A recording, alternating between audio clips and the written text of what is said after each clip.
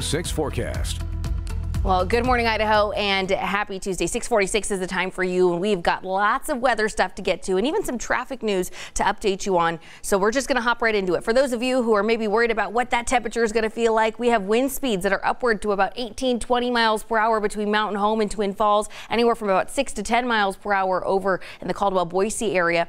Because it's Arctic air coming in from Canada, it is dropping our wind chill down. We are actually going to feel like 16 degrees here in Boise, 11 degrees in Mountain Home, and we're actually going to start to feel negative as you head further east. You're going to see temperatures anywhere from about 2 to 5 negative uh, for most of today, honestly. So if you're maybe, again, planning ahead, just make sure you have layers on hand, the coffee, hand warmers. If you work outside, just make sure that you stay warm. Now, we're talking about traffic this morning. The rush hour uh, forecast for you. If you're heading into work, you can maybe expect to see a morning flurry or two in places like here in Canyon County heading out towards the east. Uh, we're taking a look at our heading home forecast. It's going to be clear and cloudy no matter where you are. We're not going to see snow falling. It will be cold though, so that 35 degrees is going to feel much colder. But let's go ahead and show you what's happening over at I-84 in Garrity. You can see we've got some bumper to bumper traffic right now heading in those eastbound lanes. This is not an ideal start to your morning. I know many of you, this is your Monday. And unfortunately, we are seeing that these conditions are extending now down to our I-84 and 10 mile camera. Here's a look at what you can expect if you're going to continue in this eastward pa um, pattern.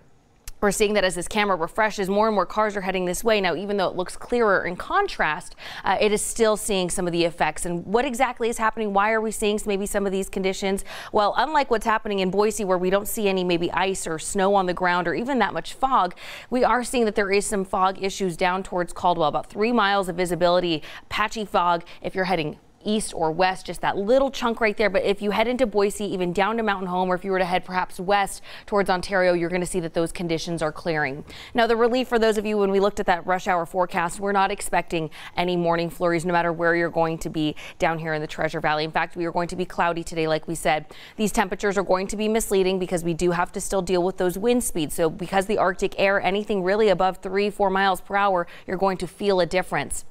In the west central mountains, we've been anticipating and we are expecting morning snow showers, and that should taper off through this afternoon. But in the east central mountains, we will see some mostly cloudy conditions, no morning snow flurries or even afternoon snow flurries. Temperatures, though, only topping 16 degrees in places like Stanley.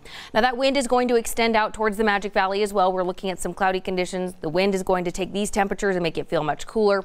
Seven day extended does say that we have some relief coming for us. It's just not coming immediately. We've got to get through at least your Wednesday, Thursday, but by Friday, we'll start to to see a change in the weather pattern. Cloud coverage will move out of the way and we'll see that we go from the high 30s into the low 40s, even tipping into the high 40s, low 50s Sunday to Monday.